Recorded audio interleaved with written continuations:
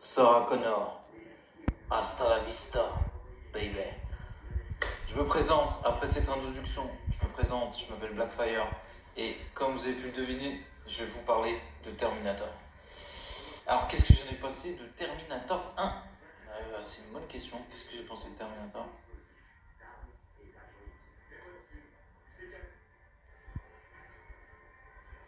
Qu'est-ce que j'en ai pensé de Terminator 1 Parce que je vais vous faire le 1, le 2, 3, 4, 5 et le 6.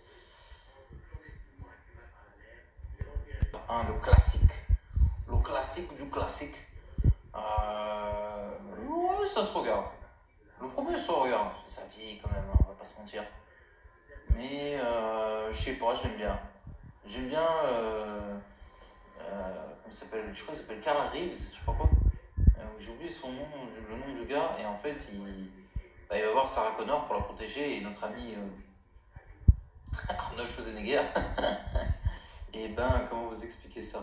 Lui est beaucoup moins. euh, euh, comment dire ça? Bah, Lui, il a envie de la tuer. Donc, euh, en fait, à la fin, il réussit à tuer Terminator, qui est Arnold Schwarzenegger, mais le héros en vrai de l'histoire, c'est Terminator. On aime bien Sarah Connor, hein. elle joue bien son rôle, l'actrice est bien, tout ce que vous voulez. Mais on va pas se mentir. en fait, je pense que en fait, à l'époque, ils avaient trop à faire des films comme ça. C'est-à-dire que on créait des personnages et en fait, soit on s'attache au héros, soit on s'attache directement au méchant. Des fois, c'était les deux. Et là, pour le coup, Sarah Connor, on l'aime bien, mais on a rien à foutre vrai. On peut juste voir euh, Terminator la buter. Non, mais c'est vrai. je pense que personne ne dira le contraire. Et, euh, et du coup, voilà quoi. Ouais, Sarah Connor, par la main. C'est cette réplique culte. Qu'est-ce qu'il a vieilli ce film, je vous jure. hein, j'ai regardé la date 1984. C'est- c'est- J'étais même pas né. Un petit kiff. Moi je sais c'est quoi. De toute façon, on va dire la vérité. On sait c'est quoi pour nous le meilleur film de Arnold Schwarzenegger. J'allais en dire termine. En fait, ça, se joue entre deux films en vrai. Non, mais c'est vrai en plus. Ça se joue entre. euh, Non, ouais, Terminator 2 ou Last Action Hero. Et en fait, c'est juste une question de d'humeur. Parce que les deux sont bien. Du coup, euh, compliqué. Non, mais c'est vrai, c'est compliqué dans le sens où. Je sais pas comment dire ça. Euh, bah, en fait, il faut choisir, mais, mais, mais franchement, c'est une question de moment parce que l'autre, c'est un truc euh, méta sur tous les films d'action. Et, d'un côté, c'est un méchant film aussi parce qu'il il est méta, mais sans oublier d'être divertissant. Là où Matrix, par exemple, c'est méta et c'est raté, et en plus, le film, il oublie d'être divertissant. Donc, c'est une bouse. Alors que Terminator, non, que Last Action Hero, bah, sa qualité, c'est ça, c'est qu'il arrive à être méta, un truc. Il est méta dans le méta. Et qu'est-ce que c'est réussi en plus? Parce qu'en fait, ça se moque des, des films d'action, de comédie un peu, où le héros américain s'en sort toujours, parce qu'il est dans un film, et que dans la réalité, ben, ben, il s'en sortirait beaucoup moins, et ça, le film le montre. Et euh, d'un côté, voilà, il se moque de plein de trucs, mais tout en étant extrêmement profond et intéressant et divertissant en fait. C'est-à-dire que à la fois, bah, ça beau être méta et que ça se moque un peu des films genre action et héros, d'où le titre en plus, Last Action Hero. Et, euh, et d'ailleurs, le film n'a pas marché. Et voilà. Dans cette Bon, ça dit, je vais pas vous mentir, so- soyez un peu indulgents avec, euh, avec Arnold. C'était en 84. D'ailleurs, c'est assez marrant parce que, bon, le film en lui-même à l'époque c'était une révolution. Voilà. Et euh, j'essaie de me rappeler, parce que je crois qu'il y a un film avant lui qui était une révolution.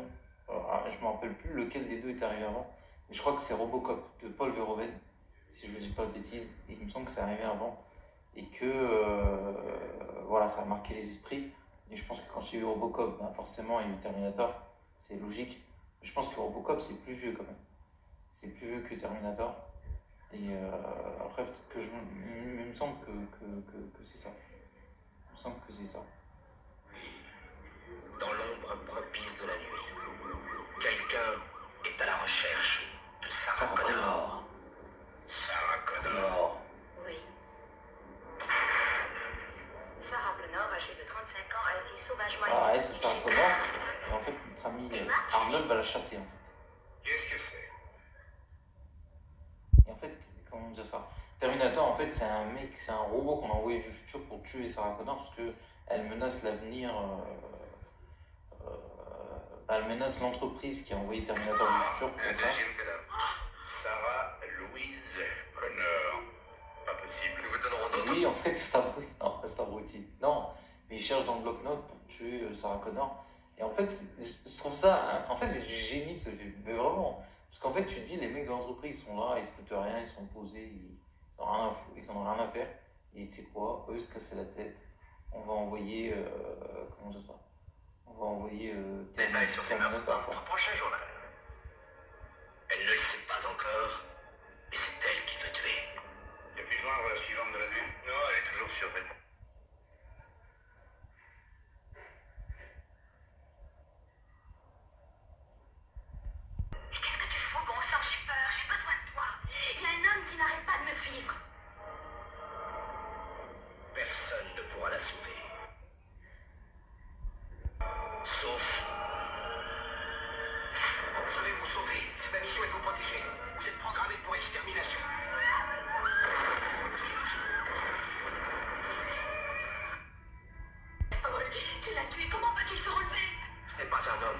Machine.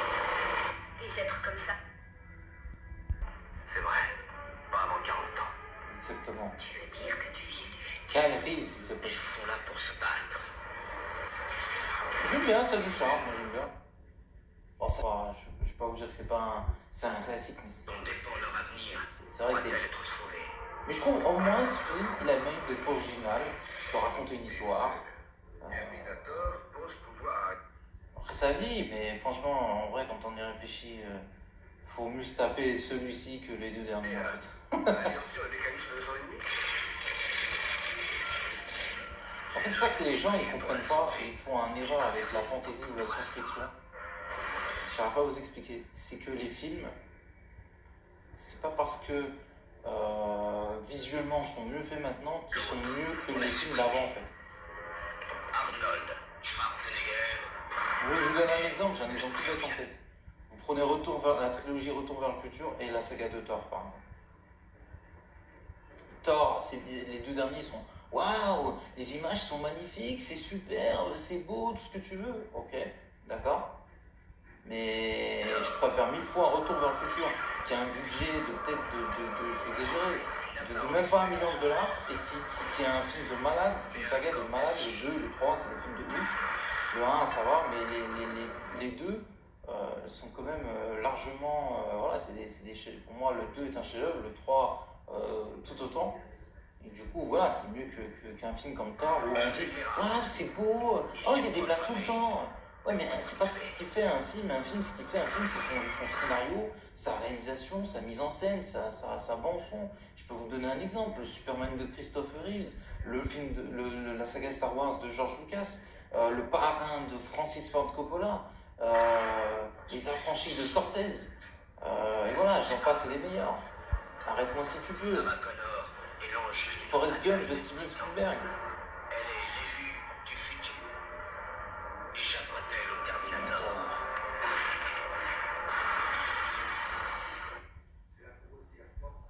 Il dit, par ma main.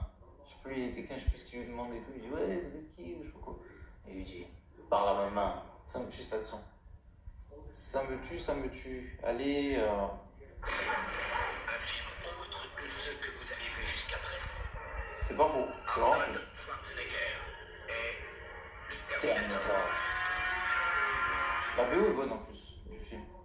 Anecdote assez amusante, euh, en fait il dormait et un jour il, il- en fait, il rêvait que des gens ils, ils allaient faire comme le speech du film et il s'est dit bah, tu sais quoi je vais en faire un film. Comme quoi parfois les films ou les idées ça se joue à rien. Après il faut juste s'appeler euh, peut-être James Cameron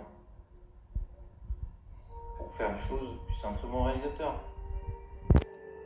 Voilà, c'est tout ce que j'avais à dire sur Terminator au premier du nom. Donc n'oubliez pas de commenter, de liker la vidéo et à la prochaine. Allez, ciao tout le monde.